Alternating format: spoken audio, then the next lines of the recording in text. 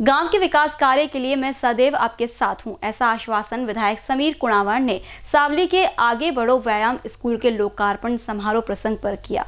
सावली के आगे बढ़ो, व्यायाम स्कूल का लोकार्पण समारोह सावली ग्राम पंचायत यहाँ आयोजित किया गया था।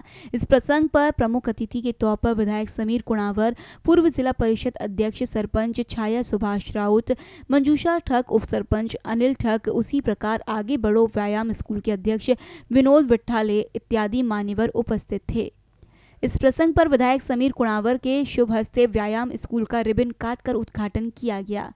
पूर्व जिला परिषद अध्यक्ष और जिला परिषद मतदार संघ के सदस्य ने मतदार संघ में विधायक ने किए अनेक विकास कामों की जानकारी दी। विधायक कुणावर ने मतदार संघ में विकास काम के लिए निधि की कमतरता नहीं होने दी, ऐसा प्रतिपादन किया।